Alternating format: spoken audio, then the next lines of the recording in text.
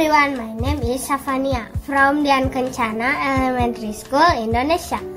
I want to tell you about Komodo National Park in center of Indonesia Island between Sumbawa and Flores. This is the only place in the world where you can see Komodo in natural habitat. Komodo is the largest lizard, 3 meters long and 70 kilos weight. The animal is known as Komodo dragon, which is the last of large lizard population that once lived in Indonesia and Australia. If we visit the park, you are not only seeing Komodo, but the natural beauty.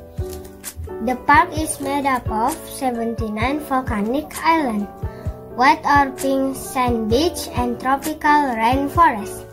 The park is also a home for other animals such as mammals, endemic rats, and birds. Cockatoo to preserve Komodo and the park.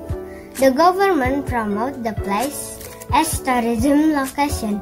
We can visit the park and looking after Komodo. Thank you everyone. Don't forget to support me. Bye.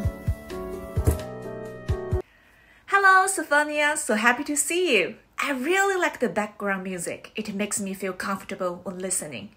The little picture of Komodo National Park on the wall is indeed lovely. You call to action to support and visit the park at the end is a wonderful touch.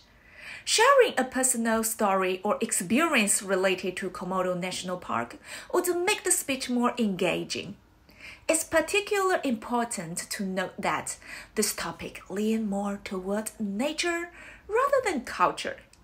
To make your speech even more vivid and rich, here are some suggestions. Number one, we should add more personal stories.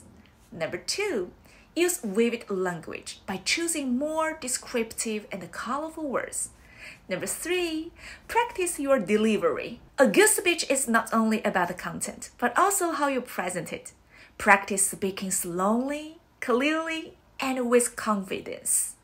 Good job. Thank you.